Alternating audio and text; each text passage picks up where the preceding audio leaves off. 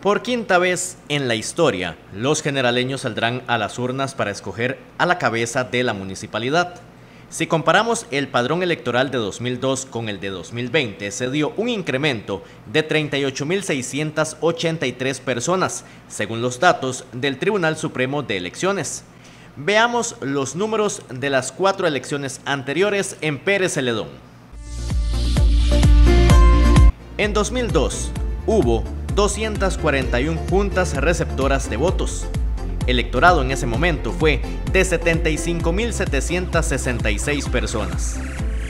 Los votos recibidos, 17.364. Los votos nulos en 2002, 344 y los votos en blanco, 190. Cuatro años después, las juntas receptoras de votos bajaron en 50, para un total de 185 en ese momento.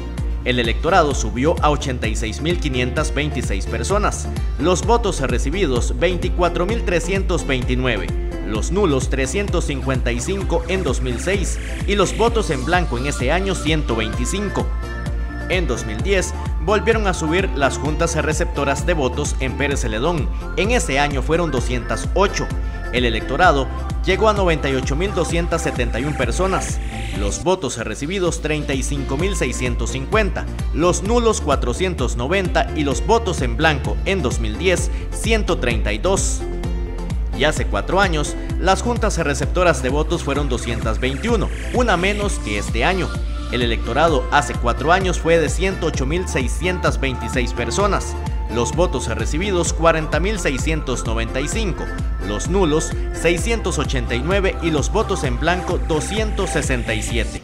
El porcentaje de participación en 2002 en Pérez Celedón fue solamente de un 23.6%. En 2006 subió a un 28.1%.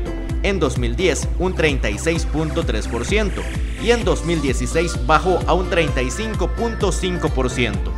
La Unidad Social Cristiana ganó en 2002 con 7.202 votos. En 2006 se volvió a imponer con 10.184. Liberación Nacional ganó en 2010 con 11.778 y el PUSC regresó al poder en 2016 con 13.065 votos.